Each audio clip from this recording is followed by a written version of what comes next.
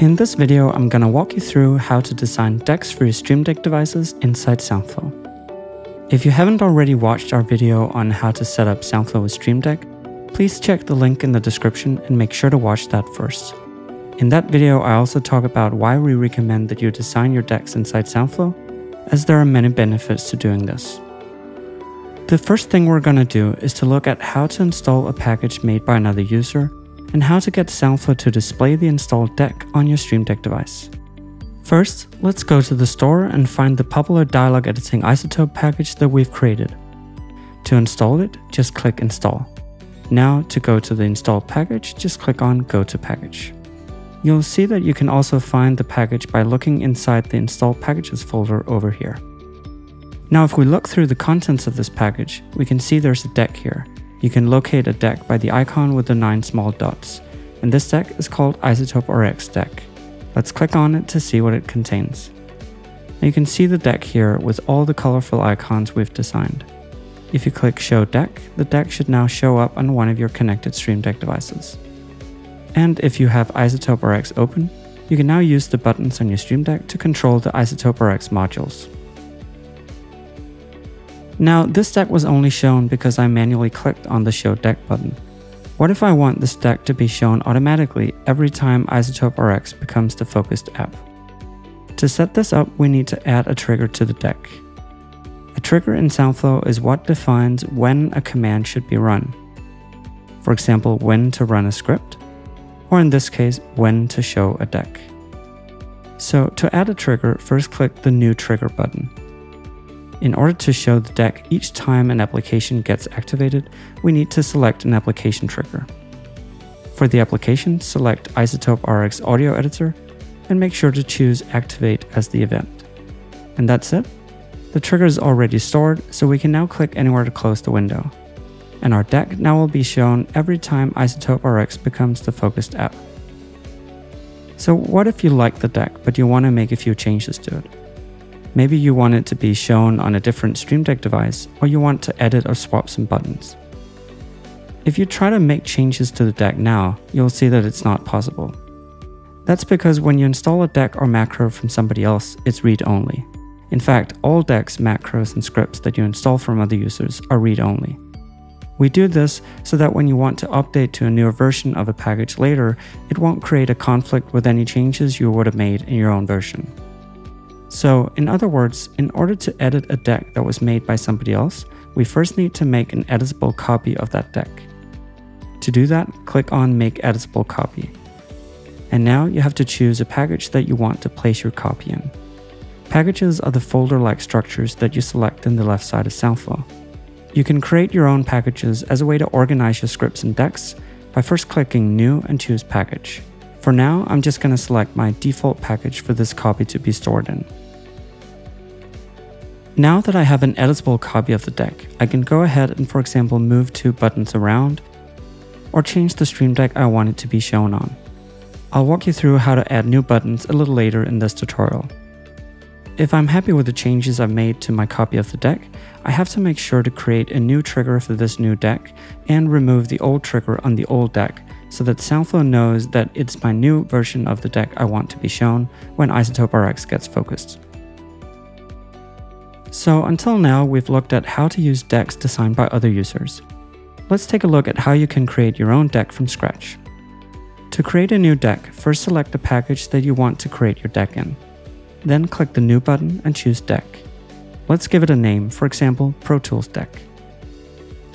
Now you can see the deck details in the bottom right quadrant of the screen. In the device dropdown, I can choose which device this deck should be shown on by default. And in the size dropdown, I can choose if I want this deck to fit with a regular Stream Deck with 15 buttons or a Stream Deck XL with 32 buttons. Let's design a 5x3 deck for now. Now let's add a button to our Stream Deck. First, click the button to bring it up. You can see that the selected button lights up with a blue border. In this first example, let's give it a title. I'm going to call this one Preview.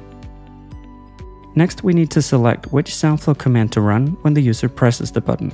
To do that, click on the command field here. In this pop-up, you'll see a searchable list of all SoundFlow commands in your account, both the built-in commands, the install scripts and macros, and all of your own scripts and macros. Let's search for preview and select the built-in toggle preview command. Now to check that this works, click show deck to show this on the default device we selected earlier. And as we can see, I can now click our new preview button to toggle the preview state in Pro Tools. Now let's see how we can add an icon to our button instead of the black and white title. For the icon, I want to use a screenshot of the preview button. Let's use the built-in macOS shortcut for copying screenshots to the clipboard. On your keyboard, click Ctrl Shift Command 4 and drag around the preview button. Now back in SoundFlow, click on the icon field and choose Paste from Clipboard. Finally, remove the title we added earlier so the icon stands alone and we're done. So what if we want to do something that isn't a built-in SoundFlow action, but instead our own macro? The important thing to remember here is that this involves two steps in SoundFlow. First, we need to create the macro, and then we can assign that macro to a button on our deck. A common thing people want to do with the Stream Deck button is to use it to open an application, so let's use that as an example. Our first step is to create the macro. Make sure we've selected the right package first, then click New and choose Macro, and let's call this Open Pro Tools. Now we can edit the actions that this macro should take in the bottom right quadrant here. Click Add Action to bring up a list of all the possible actions we can add. We can now either navigate the action folders in the left side or just start typing to search. Let's choose the Launch Application action and click Enter. Next, we have to tell the action which application we want it to launch. To do that, click on the Path field and type Pro Tools. And that's it. Now we can test our macro by clicking Run Macro, and we can see that it activates Pro Tools. Now, since this is a regular macro, we could now add a keyboard trigger to it if we wanted, but since we want to add this to our deck, we don't need to add any triggers now. To connect our new macro to a deck button, we need to do that inside the deck. But before we do that, let's make sure to give our macro a proper icon. To get the Pro Tools icon, go to your Applications folder and find Pro Tools, then click Command I to bring up the info window. Now click the little icon in the top left corner and press Command C. Go back to SoundFlow, and now in the empty square next to the macro title, click and choose Set Icon from Clipboard. Now our macro is done. Let's go back to our deck and add it to a button. Let's select a button here and then click on the command dropdown. I'll search for our macro named Open Pro Tools and select it. And that's it. Now since we added the icon to the macro itself, instead of just to the button, this icon automatically is shown on any deck where the macro is added to. So now you've learned how to install packages from other users, how to add application triggers to your decks, how to make editable copies of installed decks, how to design your own decks, how to create macros that launch applications, and finally, how to reuse icons across macros. I hope this gives you a good start on how to design decks in SoundFlow. And always remember, if you have a question or get stuck somehow, ask a question on our forum and we'll help you get it working.